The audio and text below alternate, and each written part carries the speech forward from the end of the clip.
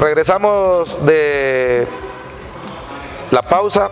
Doctor, cuando se trompean así en público, ¿En privado también se, trompean o en privado andan abrazados? en privado. Mire, una cosa es lo público y otra cosa es lo privado. Ahí esos alegatos y esos pleitos en público, claro, porque están las cámaras y hay que demostrarles que son oposición. Sí, los políticos siempre han comido en el mismo. Oiga, cuando Beatriz le dijo a Mel en un canal de televisión, voy a hacer hasta los gestos. Ya se le olvidó, presidente, ¿a quién mandaba usted a hacer los negocios sucios al Congreso? Ya se le olvidó, presidente, cuando usted mandaba a Jorge Cálix aquí y hoy lo está tratando mal.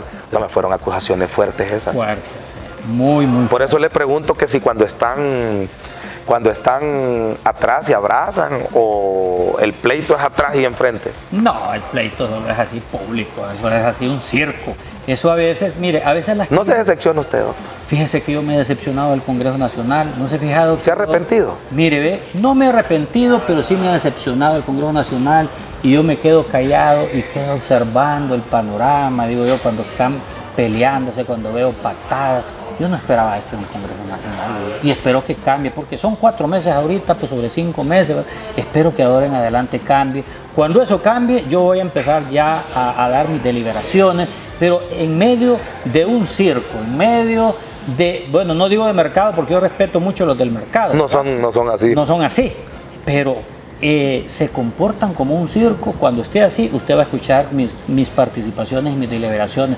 Mientras tanto, mejor yo me llamo en el hemiciclo al silencio y me quedo en mi curul claro, votando a favor del pueblo hondureño, hemos votado en contra de las sedes, hemos votado en contra de los fideicomisos de los bancos, hemos votado a favor de una emergencia financiera porque dejaron quebrado el país, hemos votado... Eh, y no han puesto algo ahí de investigar a todo el que se hizo rico en estos últimos 12 años y quitarle todo y zamparlos al mamo. Sí, acabamos de aprobar fortalecimiento a la UFERCO, que es la unidad especial de la Fiscalía que investiga las redes de corrupción y quitar la ley de secretos. Eso fue un gran triunfo. Sí, pero eso a quién, a quién van a investigar, porque aquí hay un montón de gente que no son, que no son políticos que se han hecho millonarios en este país. Claro, es que por eso robándole al pueblo. Pero se llama redes de corrupción y ahí tienen que investigar rojos, azules, rojinegros también.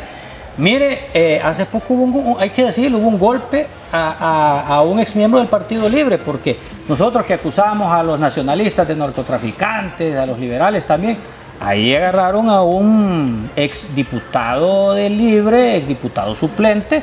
Del hermano del presidente. Sí, entonces dígame, entonces aquí nadie está limpio. Lo que se trata es de limpiar la casa. Ah, Hay que limpiar la casa. Doctor, pero es que a lo que yo me refiero es de que esta mesa cuesta 500 lempiras, pero yo se la vendí al gobierno en 5 mil. Hay que meterlo al mano. Yo no sé si usted comparte conmigo. Pero el peor cáncer que puede haber en este país es el empresario. La corrupción y aquellos empresarios corruptos. Sí, pero no, no, no, no. Cuando yo le hablo, es más dañino un empresario que un político porque el empresario es el que soborna al político. Pero un empresario corrupto. No, así es que yo le hablo de. No, no, no. Como hay políticos muy serios. Correcto. Yo le voy a decir, yo conozco nacionalistas íntegros, como conozco nacionalistas pícaros. Correcto. Conozco gente de libre, igual. son lana. Son lana. Son lana, pero aquí no venimos a acusar. Como yo le dije desde un principio, doctor, me interesa el pueblo. No hay medicinas. La educación, las escuelas están cayendo entonces yo miro como injusto de que estemos pensando en otras cosas y no pensemos realmente en, solucionar eso. Quiere que le diga una situación que debería de hacer nuestro gobierno y que lo dijimos en, campaña política. Mire, en el mundo ya no hay un no hay un unilateralismo, o sea, no solo hay un solo país, sino que hay varios países que están dispuestos a ayudarnos. Miren, nuestro principal socio en Estados Unidos, ellos nos ayudan hasta donde pueden. Van a mandar 1.900 millones de dólares a los tres países, El Salvador, Guatemala y Honduras, para evitar la migración. Y ninguno de los tres fue a la cumbre, va. No, pero nos van a ayudar aún así los norteamericanos. Pero también debemos tener, así como lo tiene El Salvador, como lo tiene Nicaragua, como lo tiene Costa Rica, Panamá, abrir nuestras relaciones internacionales con China continental. Usted ha dicho que no hay el, hospitales desde hace muchos años. China nos puede construir hasta 10 hospitales a nivel nacional, nos puede construir. En El Salvador está construyendo puertos, está construyendo aeropuertos. A Costa Rica le construyó el mejor estadio de Centroamérica. En Panamá está haciendo inversiones. ¿Por qué no abrirnos a todo el mundo? Si somos un país independiente, Estados Unidos lo va a comprender va a entender, los Estados Unidos es el principal socio de China continental. Abramos el comercio con China. Además, no estamos, eh, tenemos comercio con China de hecho, pero no de derecho. Si estos celulares son hechos en China, si estas camisas y estas chupas son hechas en China, made in China, dice ahí, pero no tenemos oficialmente relaciones con China continental. Si nosotros tenemos eh, relaciones con China continental, ellos nos compran la deuda externa que el 50% del presupuesto va para la deuda externa, si ellos no la compran, le quedemos pagando, así como dicen en el mercado, maiciado y tenemos dinero para hacer obras, obras a la sociedad, ayudar al campesino, llevarle bono tecnológico, reparar escuelas, eh, construir hospitales, todo pasa en este momento por quien tiene el billete. Y quien tiene el billete en este momento se llama los Estados Unidos de América y China continental. Seamos socios de ambos y que dejémonos ayudar, dejémonos Pero es que yo estoy de acuerdo en las sociedades y pedir más, más que sociedades es que nos ayuden, que, que nos apadrinen. Pero yo siento que aquí tenemos que dar un paso diferente siendo un país tan rico en todo.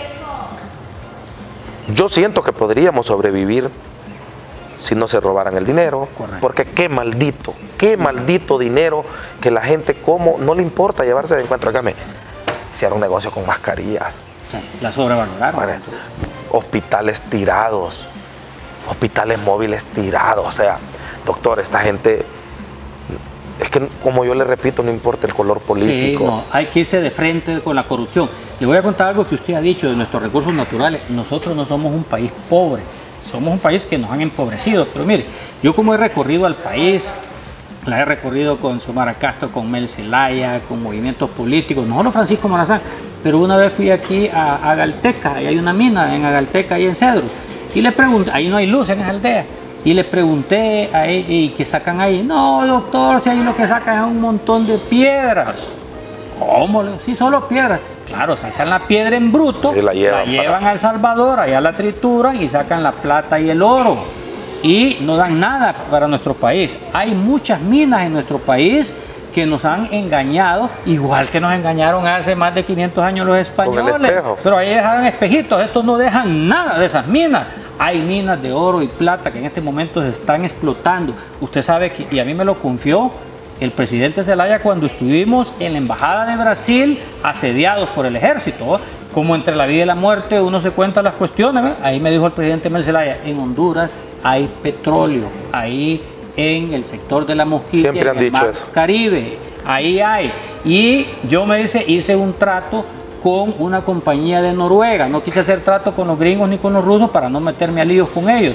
Pero vino el golpe de Estado. De ahí Pepe Lobo vendió lo que es todo lo del Mar Caribe. Usted sabe que todos los barcos que venían desde el tiempo de Hernán Cortés, que ahí sucumbieron barcos y que ahí hay riqueza porque se llevaban el oro, pero muchos barcos se hundieron. Hay una compañía transnacional que está explorando toda esa riqueza y también el petróleo. De ahí vienen las ciudades modelo para vender ese petróleo. Eso lo tenemos que recuperar. Si nosotros, cuando vino el presidente Manuel López Obrador, del presidente de México nos dijo que nos va a ayudar en la exploración y explotación de ese petróleo, porque eso está, eso es secreto de Estado. Pero como ya quitamos los secretos de Estado, debemos de dar información cómo está, en qué nivel va esa exploración de petróleo y si es explotable. Y debe ser explotado el petróleo. ¿Y por qué no más embulla de eso? Bueno, porque hay ¿Por qué se la tienen calladita? Porque hay muchos intereses, hay intereses de las transnacionales. Usted sabe que hay países que tienen petróleo, por eso que necesitamos un país independiente. ¿Usted cree que las transnacionales no tienen ya quizá compradas esas, esos yacimientos de petróleo y están esperando que se acabe su petróleo para venir a, sacar, este? o sea que vendrían a sacar el petróleo y no sería de nosotros. Correcto. Sería de ellos. Sería de ellos y lo único que nos dejarían a nosotros sería la mano de obra, o sea, los obreros pues. o sea, los pescados muertos de la contaminación. Correcto, entonces eso debe de cambiar. Eso es importante la venida del presidente de México porque revivió eso. Recuerda que él lo dijo, vamos a asesorar a Honduras en la explotación de petróleo. Somos un país rico. Aquí hay oro, hay plata y hay petróleo. Y eso se lo decimos No, acá todos los y toda la agricultura que se puede hacer aquí. Hay tierra tierra, fértil. tierra fértiles para... Valle de Sula, Valle de No, por donde vaya. Valle de la UAN, hay ríos. Pero cree que se puede, se puede hacer eso cuando usted, y vuelvo a, a meterle el limón a la llaga, cree que... Dicen con todo respeto, vuelve la mula al trigo. Sí, pero usted cree que se puede, cuando miramos nosotros que ustedes no están pensando en el país, sino que están pensando, Agarrándonos de las greñas. no, pero es que pensando en querer tener poder, eso es lo que, lo que creo yo. Bueno, es por eso importante esta reunión que vamos a tener con la presidenta para tener una sola agenda. Mire, países como Israel, que en el desierto han prosperado, No, prosperar países nosotros. como países, sí, como que, miren, Israel no tienen ríos, si está el río Jordán, ¿verdad?